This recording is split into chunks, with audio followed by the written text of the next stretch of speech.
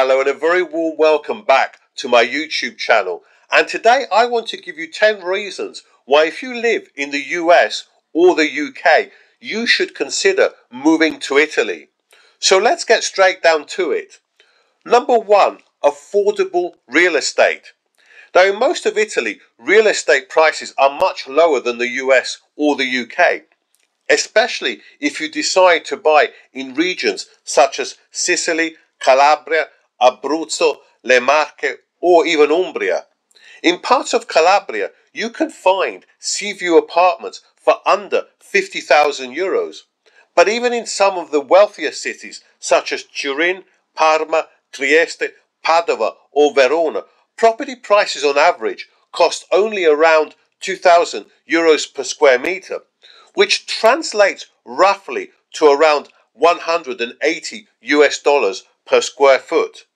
This is much cheaper than equivalent cities in the UK and especially the US. Now, as long as you avoid cities like Milan, Venice, and some of the very touristic areas such as Portofino, Capri, the Amalfi Coast, and Cortina d'Ampezzo, then property is really affordable. Even in Rome, the capital, property prices are quite reasonable at an average of 3,300 euros per square meter. Now, let's talk about number point number 2, the excellent healthcare system. Italy has one of the best healthcare systems in the world, both public and private. And private healthcare is much cheaper compared to the US and the UK. People in the UK will obviously know full well that nearly 8 million people are on a waiting list in England alone to begin treatment in a hospital. Now, Italy has more than four doctors per thousand people, whereas the US has less than three. So, medical care in Italy is certainly very good. Point number three toxicity. Now, many Americans I speak to complain of the toxic environment they are living in, and they just want to live in peace. Now, although to a lesser extent than the US, the UK has also become a more divisive society, in particular since the Brexit vote. In Italy, in general, they will leave you alone. It's a less toxic environment, especially if you live in a small town or village. Number four, better quality of food. Italian food is more authentic than in the US or the UK. There is a lot of variety as each region of Italy has its own speciality. Microwave meals in Italy hardly exist, and there are far fewer fast food outlets in Italy than either the US or the UK, and I am talking per thousand people. Now, number five, longer life expectancy. Now, in many ways, point five is connected to points two and four. Life expectancy in Italy is seven years higher than the US and three years higher than the UK. But what is also very important to consider is that the quality of the final years of your life are also much better in Italy.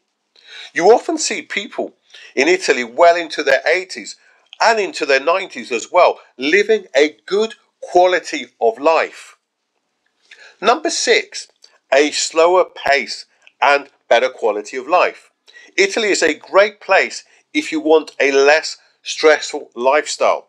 Italians enjoy a more relaxed pace of life. They tend to cherish every moment with family and friends, and they take longer to eat their meals. So they obviously, Italians are very into their food and their wine. Number seven, the lower cost of living. Now, Italy is by no means cheap, but it is still a lot less expensive than the UK and the US. We have already spoken about housing and private medical care, but things like transport, eating out, entertainment, college and university fees are also less expensive in Italy, in particular if you live in the south. Number eight, Italy is stunningly beautiful. Whether you are into nature or beautiful artistic cities, Italy has it all. Italy has a very much diverse range of architectural styles which span a period of over 3,000 years, including Greek, Roman, Romanesque, medieval, Gothic, Baroque, and Italy has numerous beautiful cathedrals, churches, castles, museums, and art galleries to suit every taste. Italy has also got stunningly beautiful mountains, rivers, countryside, and amazing beaches as well.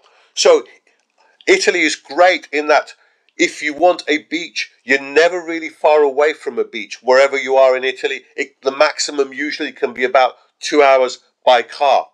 And if you want the mountains, they're never far away either. So Italy, from this perspective, has so much to offer. Number nine, plenty of activities. Now, whether you enjoy hiking, skiing, watching live sports, theatres, opera houses, museums, or even just long walks on the beach, Italy has it all. So you will never get bored of living in Italy. And number 10, very, very important, friendly people. The Italians in general are friendly people. It is generally easier to strike up friendships, especially if you do not live in a big city. Now, if you want to strike up friendships, it's probably better to live in one of the smaller towns in Italy or villages. You're bound to make friends. But even in some of the medium sized cities, you're much more likely to make friends in Italy than you are in the UK and the US. Italian people are very friendly. And also, Italians are very, very family orientated. So if you want to come to Italy to start a family, or you just like that family environment, then I think Italy would be very, very, very suitable for you. Of course, not everything in Italy is perfect. Um, we want to be very objective in this video, and there are downsides in Italy. And some of these downsides are things like bureaucracy. Bureaucracy isn't great in Italy. Also, if you are somebody who wants to come to Italy and find a job, job opportunities are not that great, especially compared, let's say, to the US. You should come really if you are somebody who's retired, or potentially if you're a digital nomad and can work um, abroad, then Italy is a great place to come. Again, if you're looking for employment, you may find some employment in cities like Milan, Turin, more in the north. You may get lucky in Rome, but in the south of Italy, it is much, much harder to find employment. And in fact, you'll find a lot of young Italians from the south work in the north. Also, the taxation in Italy isn't particularly great, although there are um, good schemes as well, particularly if you're well off. There is a scheme where you pay a maximum of 100,000 euros a year, no matter how much you earn. So if you're well off, that can be good. There are other good arrangements. If you go and live in very small cities, then you'll pay less tax on your pension. But perhaps I think that is for another video. But anyway, let me know your thoughts. Um, I would love to know your thoughts. Um, do you think Italy is a country you would want to move to and buy property in? Or would you find it a little bit too bureaucratic? I would love to know your thoughts. Anyway, as ever, thanks ever so much for watching this video and I shall see you soon on the next one.